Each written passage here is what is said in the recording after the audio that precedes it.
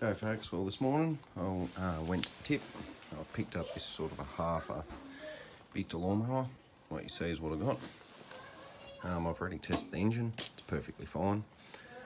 Um, we'll rebuild the carburetor. All in all, I just need to add a handle, top dress cover, air filter, change the oil. Someone's already gone to there for to put new blades on it and sort of pushed it around with the little bit of handle it has got and it cuts fine. So I'll leave them be. All in all, very easy project. Also need a throttle cable too, I guess.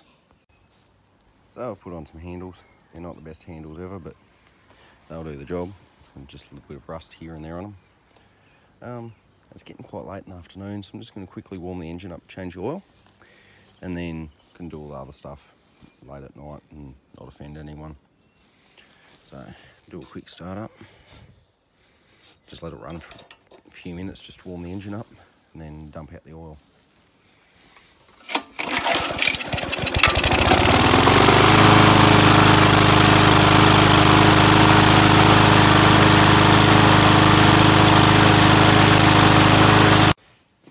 So, oil's changed. Nice and clear. Um, next thing I'm going to do, I'm going to change this starter wrap. So in the last video, it wasn't frayed at all. Looked quite good. But as you pull this one, if you look, you're starting to get threads just starting to rear their ugly heads. So, and it's not as tight as it could be going back here. So, just going to replace it. Cheap insurance, and um, get that done. So, put new starter wrap in there nothing too drastic. Now's a good opportunity to just give in here a quick blow with the air hose. Um, no, if it wasn't so late, I'd probably get the um, air uh, pressure washer going and clean it, but it doesn't have to be spotless. Someone's already gone to there for putting in a new spark plug for us, so that's a bonus. Um, so we'll get this top cover on after blowing it out rebuild the fuel tank and then I've just got to find like a top beauty cover if I've got one. If not no big loss. This is one of the um, must be a 500 series. 10 cubic inch um, with an internal governor so it's got the slightly smaller governor spring that hooks directly onto the carburetor there. Otherwise um, it's pretty much the same as say a Sprint 375 or um, what is it, 450 series. Yeah, them fuckers. Um, they're only 9 cubic inch though. Anyhow, moving on. So I've just chucked a new diaphragm in this carb. Um, there's a little bit of rust in the bottom of the tank. Um, I did plan on changing it out, but I didn't have a good one right at hand to use. So all I did was with the half a tank that was still in it, I um, chucked a whole heap of stainless bolts and washers and shit in there. Didn't chuck hose clamps in there. Anyway, and shook it up and I put everything that was loose out of there. So all that stuff is pretty much um, stuck in there, but it's not going to block up our pickup. So it's not going to be an issue. Um, these gaskets did need changing. Usually I can get them off in one piece and it was just knackered. So they can go on the bin now. Um, there's plenty of tutorials out there on fitting these. I will do one sooner or later. Um, I've just got to organise for someone to hold a camera for me or get off my ass and buy a tripod I suppose.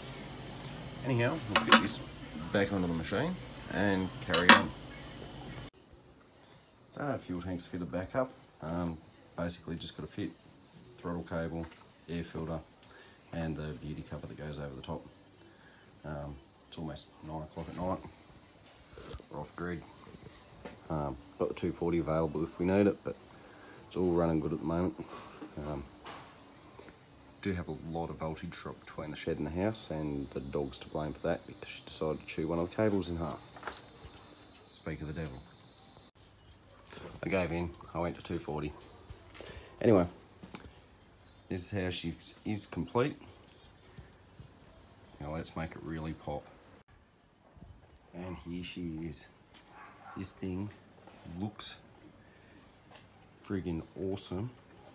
Not brand new, Um, can't expect, you know, for the price range I sell them for, for them to look brand new. Um, we're missing one hubcap. I'll go and find one in the morning. This thing came up awesome. So we'll do a quick price breakdown. Um, Five dollars to buy it originally. I don't know. Bought a hundred meter roll starter rope for fifty bucks. So two meters of rope. A dollar, two dollars. What I ain't been one and a half meters. Um, the blades are already new on it.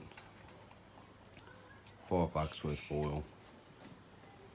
Everything else was pulled off parts mowers. Um, either diaphragm, another two bucks.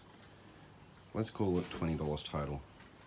And this is what sort of machine you can build. Once again, maybe two hours of my time at the absolute maximum. Um, they're out there, guys. Get on them because these good Briggs and Stratton engines are becoming less and less common with the shit like this that people buy up now. Um, this is actually a good Chonda Victa lawnmower. Um, I had it ready for sale, but I don't know. I just can't bring myself to sell this Chinese made crap. So I use that one myself. Yep. So someone that does up lawnmowers all day, every day. Basically daily drives a um, Chinese Honda copy. I can't really complain about it, but when they're sold at the low price point, people will abuse them, and the ones you pick up second hand are usually just garbage because they've been run into the ground. These ones, quite a bit dearer when they were new. People tended to look after them. Um, and okay, this one was a bit neglected. It was missing a few parts. But someone did love it at one point. Um, it had reasonably clean oil when I got it. So maybe they've pulled it apart like it was just to get it in the boot of their car to take it to the tip because, you know, they've got a new one or their neighbour got a new one so they've got to upgrade. There's a few of those type around here. Anyhow, um, thanks for watching and I'll see you in the next one.